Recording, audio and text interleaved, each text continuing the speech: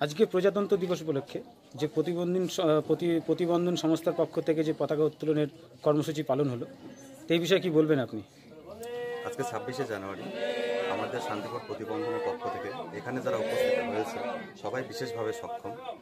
আমরা প্রতি বছরে এই দিনটা পালন করি যেমন কয়েকদিন আগে তেইশে জানুয়ারি পালন করা হয়েছে। আচ্ছা বিশে জানুয়ারি পালন করা হচ্ছে। আর ছাব্বিশে জানুয়ারি পালন করা হচ্ছে। এখানে বাচ্চাদের? এখানে বাচ্চারা যারা উপস্থিত আছেন সবাই বিশেষভাবে সক্ষম। এবং কিছু বয়স্ক লোকেরাও আছে তো কতজন এখানে উপস্থিত হয়েছে? আজকে তাও দুশো মতো। এখানে যারা উপস্থিত হয়েছে এখনও পর্যন্ত তারা কি প্রত্যেকেই প্রতিবন্ধী? হ্যাঁ প্রত্যেকে সক্ষম। তো আপনার নাম? আমার নাম অর্জুন দত্ত যদি এখনও আমাদের খবরের দর্পণ চ্যানেলটি সাবস্ক্রাইব না করে থাকেন, তাহলে এখনই সাবস্ক্রাইব করুন। সঙ্গে বেল বাটনটি ক্লিক করুন আর পেয়ে যান সব খবরের দ্রুত ভিডিও আপডেট।